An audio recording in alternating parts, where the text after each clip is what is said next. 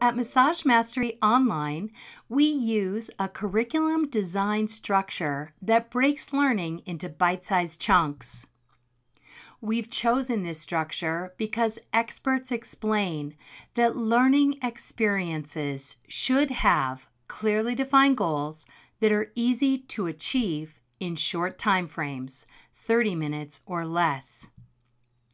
First, we structure our content into lessons.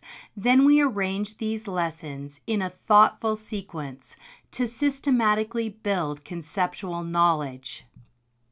Lessons are broken down into topics. Topics are focused to group content effectively so that it's easier to learn and remember. This chunking of material into topics is what creates an effective learning experience. Completing a topic is a clearly defined learning goal that users achieve in short time frames. In fact, it takes only 10 to 20 minutes to complete most topics.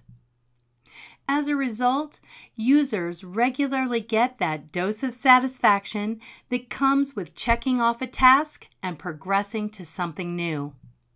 Throughout topics, users enjoy interactive content, videos, listen along audio, and plenty of images that increase their content engagement. We hope you find that bite sized topics enhance your learning experience and make learning more fun.